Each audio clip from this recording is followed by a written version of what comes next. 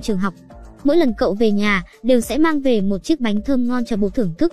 Thế nhưng bà Potter cũng không chịu thua, lần nào cũng làm hai phần cơm để cho ông bố ăn hết. Hai người không ai kém ai, làm hết đến món ngon này đến món ngon nọ. Thế là trong vòng một tháng, ông bố Erlen tăng đến tận 15 cân. Hôm đó, ông cũng đưa ra quyết định. Tổ chức hôn lễ, Nigel cũng là một người hiểu chuyện rồi. Cậu làm một chiếc bánh kem cưới, mang nó đến tiệc cưới. Nhưng không ngờ, bà Potter cũng làm một đống bánh, bày biện đầy cả các bàn tiệc. Trong buổi tiệc, một bà lão nói với Nigel, đồ mà bà Potter làm thật sự rất là ngon. Bởi vì từ khi bà ta yêu bố cậu, mà chồng trước của bà ta đã sụt mất 40 cân. Nghe xong lời bà lão nói, Nigel bị kích thích rồi. Cậu quyết định tiếp tục nghiên cứu đồ ăn, đánh bại bà Potter. Thế là cậu đến một nhà ăn xin việc, trở thành trợ thủ cho bếp trưởng, từ đó mà học được không ít kỹ năng nấu ăn. Nhưng vào đúng lúc này, chuyện đang sợ nhất xảy ra rồi. Bởi vì ông bố Erlen ăn quá nhiều bánh ngọt và thịt nướng, lượng mỡ trong máu tăng mạnh, đau tim mà chết rồi. Nigel biết tin bố mình mất, trong lòng cậu cũng chẳng còn gì vướng víu nữa. Cậu liền thu thập hành lý rời nhà đi, bà Potter thì lại rất nôn nóng, làm một đống đồ ăn muốn giữ lại cậu. Nhưng Nigel đã quyết rồi, nên cũng chẳng quan tâm bà ta cho lắm. Cậu đi đến thành phố, làm việc ở trong một quán ăn. Những ngày sau đó, Nigel không ngừng học hỏi, cuối cùng cũng trở thành một đầu bếp thiên tài cấp thế giới. Vậy là Nigel đã dựa vào nỗ lực của mình, thực hiện được ước mơ làm thiên tài đầu bếp. Từ đó cậu sống một cuộc sống hạnh phúc đến cuối đời, hết phim. Xem xong bộ phim, tôi không thể không nói, các bạn nhớ phải ăn nhiều đồ ăn tươi ngon, đừng ăn nhiều đồ đóng hộp quá. Hơn nữa, dù là nam hay nữ, thì các bạn hãy học nấu ăn đi, không thì sẽ ế đó. Thật đấy, nếu là mình, thì mình sẽ tìm người yêu biết nấu ăn ngon. Sau này, không phải làm cũng có mà ăn. Được rồi, bộ phim hôm nay đến đây thôi. Nếu như có phim hay, hãy comment cho mình biết nhé. Mình sẽ review nó nhanh nhất có thể. Nhớ follow mình nha. Hẹn gặp lại kỳ sau. Gặp lại kỳ sau. Trường học. Mỗi lần cậu về nhà, đều sẽ mang về một chiếc bánh thơm ngon cho bố thưởng thức. Thế nhưng bà Potter cũng không chịu thua, lần nào cũng làm hai phần cơm để cho ông bố ăn hết. Hai người không ai kém ai, làm hết đến món ngon này đến món ngon nọ. Thế là trong vòng một tháng, ông bố Erlen tăng đến tận 15 cân. Hôm đó, ông cũng đưa ra quyết định. Tổ chức hôn lễ, Nigel cũng là một người hiểu chuyện rồi. Cậu làm một chiếc bánh kem cưới, mang nó đến tiệc cưới. Nhưng không ngờ, bà Potter cũng làm một đống bánh, bày biện đầy cả các bàn tiệc. Trong buổi tiệc, một bà lão nói với Nigel, đồ mà bà Potter làm thật sự rất là ngon. Bởi vì từ khi bà ta yêu bố cậu, mà chồng trước của bà ta đã sụt mất 40 cân. Nghe xong lời bà lão nói, Nigel bị kích thích rồi.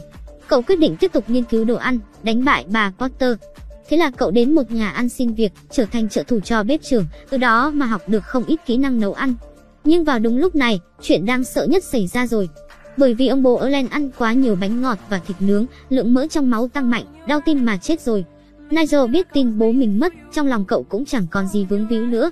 Cậu liền thu thập hành lý rời nhà đi, bà Potter thì lại rất nôn nóng, làm một đống đồ ăn muốn giữ lại cậu. Nhưng Nigel đã quyết rồi, nên cũng chẳng quan tâm bà ta cho lắm. Cậu đi đến thành phố, làm việc ở trong một quán ăn. Những ngày sau đó, Nigel không ngừng học hỏi, cuối cùng cũng trở thành một đầu bếp thiên tài cấp thế giới. Vậy là Nigel đã dựa vào nỗ lực của mình, thực hiện được ước mơ làm thiên tài đầu bếp. Từ đó cậu sống một cuộc sống hạnh phúc đến cuối đời, hết phim. Xem xong bộ phim, tôi không thể không nói, các bạn nhớ phải ăn nhiều đồ ăn tươi ngon, đừng ăn nhiều đồ đóng hộp quá. Hơn nữa, dù là nam hay nữ, thì các bạn hãy học nấu ăn đi, không thì sẽ ế đó. Thật đấy, nếu là mình, thì mình sẽ tìm người yêu biết nấu ăn ngon. Sau này, không phải làm cũng có mà ăn. Được rồi, bộ phim hôm nay đến đây thôi. Nếu như có phim hay, hãy comment cho mình biết nhé. Mình sẽ review nó nhanh nhất có thể. Nhớ follow mình nha. Hẹn gặp lại kỳ sau. Gặp lại kỳ sau. Trường học. Mỗi lần cậu về nhà, đều sẽ mang về một chiếc bánh thơm ngon cho bố thưởng thức. Thế nhưng bà Potter cũng không chịu thua, lần nào cũng làm hai phần cơm để cho ông bố ăn hết. Hai người không ai kém ai, làm hết đến món ngon này đến món ngon nọ. Thế là trong vòng một tháng, ông bố Erlen tăng đến tận 15 cân. Hôm đó, ông cũng đưa ra quyết định. Tổ chức hôn lễ, Nigel cũng là một người hiểu chuyện rồi. Cậu làm một chiếc bánh kem cưới, mang nó đến tiệc cưới. Nhưng không ngờ, bà Potter cũng làm một đống bánh, bày biện đầy cả các bàn tiệc. Trong buổi tiệc, một bà lão nói với Nigel, đồ mà bà Potter làm thật sự rất là ngon. Bởi vì từ khi bà ta yêu bố cậu, mà chồng trước của bà ta đã sụt mất 40 cân. Nghe xong lời bà lão nói, Nigel bị kích thích rồi. Cậu quyết định tiếp tục nghiên cứu đồ ăn, đánh bại bà Potter. Thế là cậu đến một nhà ăn xin việc, trở thành trợ thủ cho bếp trưởng, từ đó mà học được không ít kỹ năng nấu ăn. Nhưng vào đúng lúc này, chuyện đang sợ nhất xảy ra rồi. Bởi vì ông bố Erlen ăn quá nhiều bánh ngọt và thịt nướng, lượng mỡ trong máu tăng mạnh, đau tim mà chết rồi. Nigel biết tin bố mình mất, trong lòng cậu cũng chẳng còn gì vướng víu nữa. Cậu liền thu thập hành lý rời nhà đi, bà Potter thì lại rất nôn nóng, làm một đống đồ ăn muốn giữ lại cậu. Nhưng Nigel đã quyết rồi, nên cũng chẳng quan tâm bà ta cho lắm. Cậu đi đến thành phố, làm việc ở trong một quán ăn. Những ngày sau đó, Nigel không ngừng học hỏi, cuối cùng cũng trở thành một đầu bếp thiên tài cấp thế giới. Vậy là Nigel đã dựa vào nỗ lực của mình, thực hiện được ước mơ làm thiên tài đầu bếp. Từ đó cậu sống một cuộc sống hạnh phúc đến cuối đời, hết phim. Xem xong bộ phim, tôi không thể không nói, các bạn nhớ phải ăn nhiều đồ ăn tươi ngon, đừng ăn nhiều đồ đóng hộp quá. Hơn nữa, dù là nam hay nữ, thì các bạn hãy học nấu ăn đi, không thì sẽ ế đó. Thật đấy, nếu là mình, thì mình sẽ tìm người yêu biết nấu ăn ngon. Sau này, không phải làm cũng có mà ăn. Được rồi, bộ phim hôm nay đến đây thôi. Nếu như có phim hay, hãy comment cho mình biết nhé. Mình sẽ review nó nhanh nhất có thể. Nhớ follow mình nha. Hẹn gặp lại kỳ sau. Gặp lại kỳ sau. Trường học. Mỗi lần cậu về nhà, đều sẽ mang về một chiếc bánh thơm ngon cho bố thưởng thức. Thế nhưng bà Potter cũng không chịu thua, lần nào cũng làm hai phần cơm để cho ông bố ăn hết. Hai người không ai kém ai, làm hết đến món ngon này đến món ngon nọ. Thế là trong vòng một tháng, ông bố Erlen tăng đến tận 15 cân. Hôm đó, ông cũng đưa ra quyết định. Tổ chức hôn lễ, Nigel cũng là một người hiểu chuyện rồi. Cậu làm một chiếc bánh kem cưới, mang nó đến tiệc cưới. Nhưng không ngờ, bà Potter cũng làm một đống bánh, bày biện đầy cả các bàn tiệc. Trong buổi tiệc, một bà lão nói với Nigel, đồ mà bà Potter làm thật sự rất là ngon.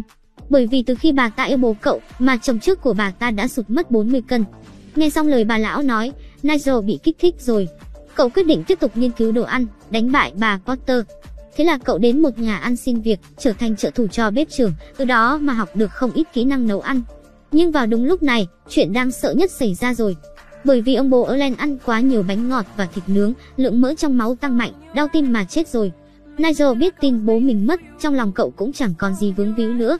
Cậu liền thu thập hành lý rời nhà đi, bà Potter thì lại rất nôn nóng, làm một đống đồ ăn muốn giữ lại cậu. Nhưng Nigel đã quyết rồi, nên cũng chẳng quan tâm bà ta cho lắm. Cậu đi đến thành phố, làm việc ở trong một quán ăn. Những ngày sau đó, Nigel không ngừng học hỏi, cuối cùng cũng trở thành một đầu bếp thiên tài cấp thế giới. Vậy là Nigel đã dựa vào nỗ lực của mình, thực hiện được ước mơ làm thiên tài đầu bếp. Từ đó cậu sống một cuộc sống hạnh phúc đến cuối đời, hết phim. Xem xong bộ phim, tôi không thể không nói, các bạn nhớ phải ăn nhiều đồ ăn tươi ngon, đừng ăn nhiều đồ đóng hộp quá. Hơn nữa, dù là nam hay nữ, thì các bạn hãy học nấu ăn đi, không thì sẽ ế đó. Thật đấy, nếu là mình, thì mình sẽ tìm người yêu biết nấu ăn ngon. Sau này, không phải làm cũng có mà ăn. Được rồi, bộ phim hôm nay đến đây thôi. Nếu như có phim hay, hãy comment cho mình biết nhé. Mình sẽ review nó nhanh nhất có thể. Nhớ follow mình nha. Hẹn gặp lại kỳ sau. Gặp lại kỳ sau.